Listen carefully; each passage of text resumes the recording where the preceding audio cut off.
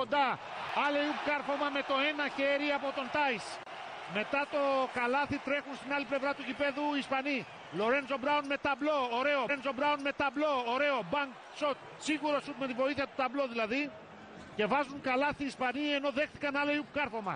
16-18, Στρέντερ απαντάει. 18-18.